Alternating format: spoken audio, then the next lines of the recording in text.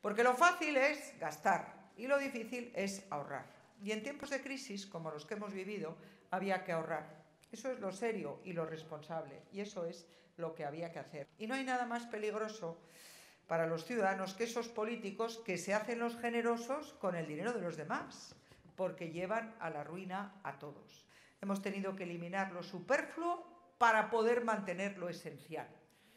Y así lo ha hecho de manera ejemplar el presidente de la Comunidad de Madrid, Ignacio González, cuya extraordinaria gestión no quiero dejar de recordar en un día como hoy.